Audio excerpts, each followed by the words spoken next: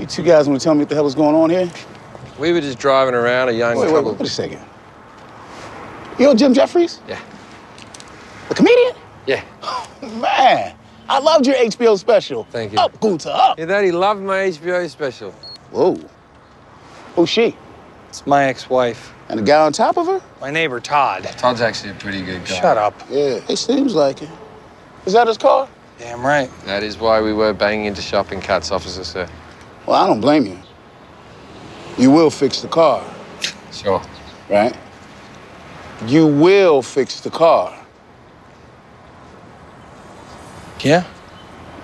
All right, let him go. You seen the one in the hammock? Which one is that? Keep going through. Oh, There you go. wow.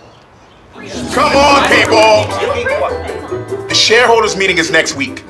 If we don't act fast, this company will be stripped down and sold for scrap. I say we cut a deal with the Wheeler Group. You, you want to make a deal with the people who are threatening to gut us. What choice do we have? No. There is one man who can save this company. Its founder. The man is from a different era. He's a Neanderthal, an animal. Yeah, and just the animal we need. Bring in the warthog. She's your caseworker, isn't she? How'd you know? How do you think me and her hooked up? This is how she operates. First, she starts showing up three times a day. Then, she starts moving her chair closer and closer.